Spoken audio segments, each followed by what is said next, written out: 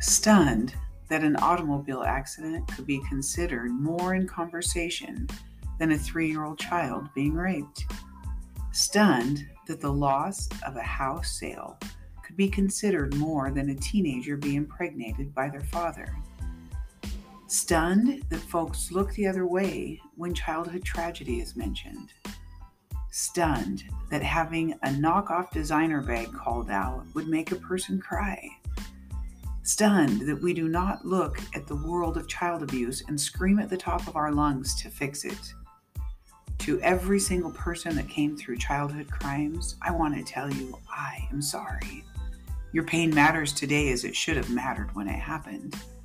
You just don't get over intense life experiences like those.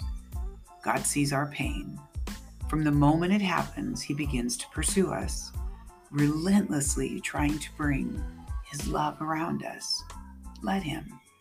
The majority of the world and the people in it don't have time for your pain simply because they do not have time for their own.